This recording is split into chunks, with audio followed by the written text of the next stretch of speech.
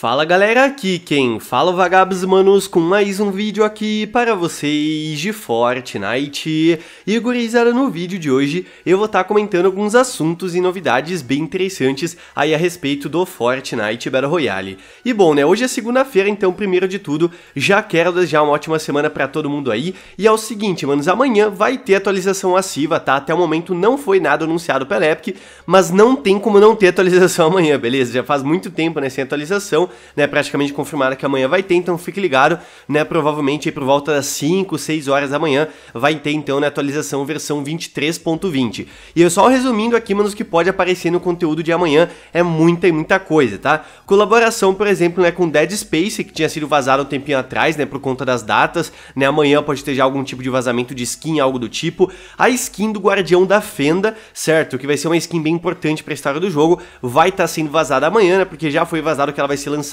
dia 18, né, na quarta, então amanhã ela tem que ser colocada nos arquivos. A skin do clube, né, ela pode ser vazada também, geralmente não é vazada, mas colocada nos arquivos ela vai ser. Novas missões semanais, também vai ter né, um novo estilo para a skin do Slayer de meio de temporada, informações né, sobre aí a próxima atualização de conteúdo e claro, né, talvez informações também a respeito do show do The Kid Laroi, né, como comentei com vocês, meio que foi vazado que esse show dele vai estar tá acontecendo já no final aqui de janeiro, então pode ser né, que amanhã já tenha algumas informações desse tipo. E claro, né, muito mais coisas, como vazamento de outras skins, itens chegando, né, eu acho que algum novo item pode ser lançado amanhã já, então fique ligado, vai ser a primeira atualização massiva aqui do ano e promete bastante coisa. E além disso, muitas pessoas também estão botando expectativa que pode ter alguma mudança no mapa, né, a primeira no caso aqui dessa temporada. E de fato, acho que isso pode acontecer, já que no Natal, por exemplo, não teve nenhuma mudança, né, a galera ficou na cobrança aí da Epic que o mapa não ficou coberto de neve no Natal, né, como geralmente acontecia. Literalmente o mapa não mudou, né, desde o início aí do capítulo,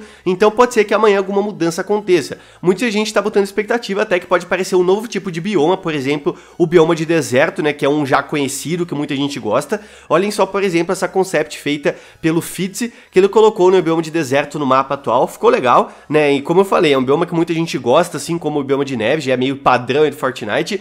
Eu acho, mano, no meu palpite, que não vai ter o bioma de deserto nesse capítulo. Não sei porquê, acho que não vai ter, tá ligado? Acho que vai ficar só no de neve mesmo talvez a Epic Games queira dar uma modificada, já que no capítulo passado, né, ficou o bioma de deserto e o de neve o capítulo todo, né, mas enfim, né, se você tá querendo mudança no mapa, pode ser que amanhã também alguma coisa aconteça, por exemplo, a volta de Castelo do Coral. imaginem só, mano, se o ponto zero trouxesse de volta Castelo do Coral no mapa. Simplesmente é isso que mostra nessa imagem ali. A gente sabe, né, que o mapa atual é composto por fragmentos de ilha, né, que foram unidos, como a gente viu, né, no evento final aí do capítulo passado, a gente mesmo, né, participou aí da construção do mapa. Então imaginem só, né, se aparecesse Castelo do Coral, que é um local, né, que vocês sabem que eu adoro, eu amo demais, né, só que não, né, enfim, se eu queria comentar com vocês, já fique esperto amanhã, também pode ter alguma pequena mudança no mapa, né, se estiver claro, eu mostro aqui pra vocês. E olhem só, rapaziada, outra parada interessante é com relação à loja, né, ontem eu falei a respeito da Renegada Flamejante, que tá custando 1.500 E-Bucks separadamente, mas no pacote apenas 200 E-Bucks, ela ainda continua na loja, beleza? Então se você, né, participou do evento Rally reinicializado do ano passado e pegou a picareta, asa delta e envelopamento do conjunto dela de graça, você pode aproveitar esse super desconto, né, comprar a skin por 200 bucks, ainda tá na loja, né, então aproveita. Muita gente comentou ontem, ah, mas pra mim ela tá custando 1.500 ainda ali no pacote. É porque você não pegou os itens do conjunto dela no rally inicializado, tá? Isso é só para quem pegou no evento aí do ano passado, né, mas como muita gente pegou, né, aproveita, o pacote ainda se encontra disponível para você comprar. E mudando agora de assunto, manos, eu quero discutir um negócio que eu achei interessante que foi postado no Reddit a respeito dos itens, né, que tem a ver aí com onda de choque.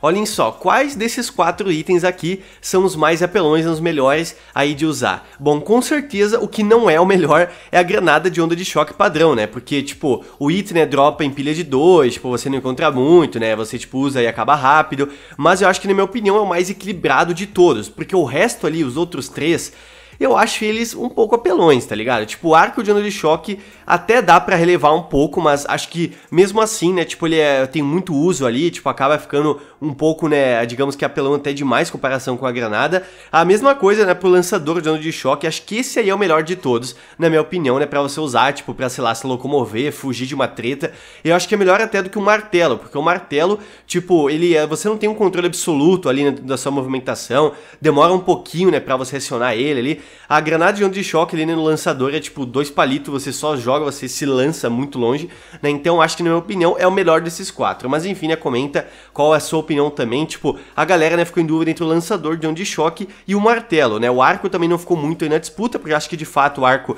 apesar dos usos ali, é o mais até equilibrado, né, em comparação com esses dois ali de baixo. Mas enfim, né, comenta também a sua opinião, né, qual você acha que de fato é o mais apelão que tem. Mas então é isso, galera. Realmente, né, não tinha muita coisa que falar hoje, a gente tá esperando já a atualização de amanhã, né? Tentei abordar aqui o resumo do que vai chegar amanhã, né? Alguns assuntos diferentes também. Mas enfim, né? Se você gostou do vídeo, deixa o likezão e fique ligado, porque amanhã vai ter a primeira atualização massiva, né? Claro que, como sempre, vou estar trazendo todos os assuntos e novidades de amanhecido aqui no canal pra vocês, tá? Então é isso, manos. Aquele abraço, se vemos no próximo vídeo. Valeu, falou, se eu fui.